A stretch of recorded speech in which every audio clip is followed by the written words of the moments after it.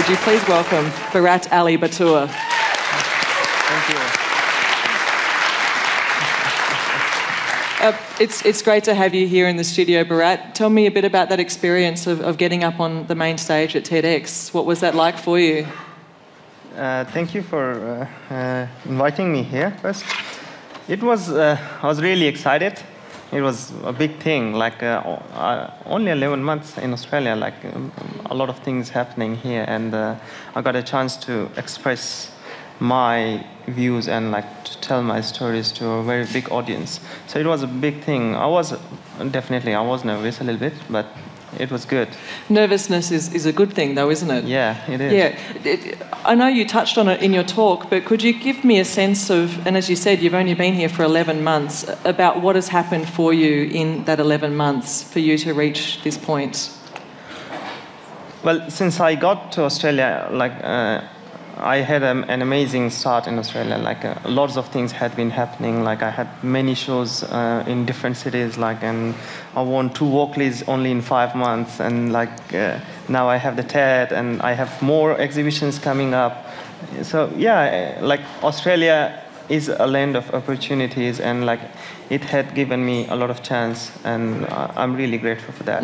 But you also say that not every asylum seeker is as lucky as me. You said that in your talk. That's important to remember for you. Yeah, I did because uh, what happened with me, like a lot of friends uh, in Indonesia, they tried to help me with my situation and with my case to expedite it, and I got resettled very quickly within seven, eight months from Indonesia into Australia. Though, like the other asylum seekers, they end up like four years, five years, sometimes ten years, and without any certain fate. Like they don't know what's going to happen to them next. Every day is the same day for them. Like they sleep, they eat, and they and they spend the day and they're waiting for the phone call or waiting for their an answer from uh, UNHCR or like any embassy there. Um, Barat Ali Batoor, we do have a question from uh, one of our audience, and Lucy Carter uh, is with the microphone. Thanks, Lucy. No worries. And this is, I think, a question that a lot of people in this room will be very interested in. Lee. Hi, firstly, thank you for your presentation. I'd just like to know um, what do you see as the most effective way to change the incorrect public perception on asylum seekers in Australia?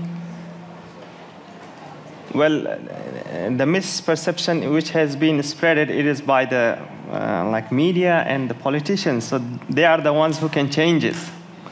Uh, as, as an individual, as an individual like uh, like me or anyone else like who has those potential like everyone should play their own role so it will be changed eventually like it will take time but it's not impossible I suppose I'm kind of curious uh, about the, the photographs that you premiered today were of that journey, but what interests you visually today, now that you're here? What are you taking photographs of? What, intri- what, what intrigues you?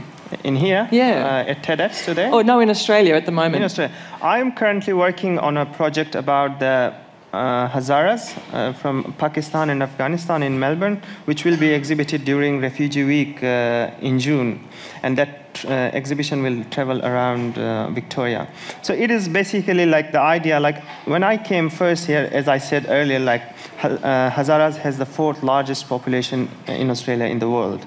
So I wanted to see like First, uh, the Hazaras started coming to uh, uh, Australia during the Taliban occupation in 1999.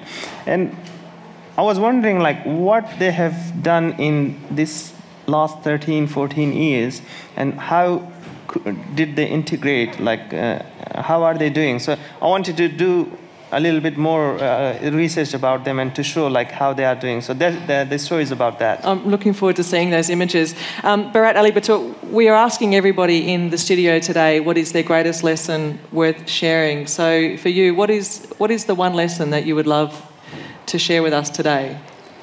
Lesson from life. That could be it, yeah.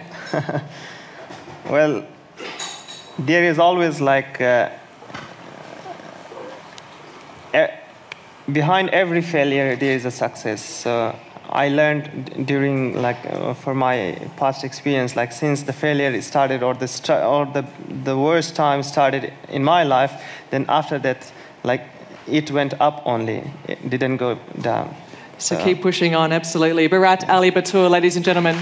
Thank you so much. Thank you so much. Thank you.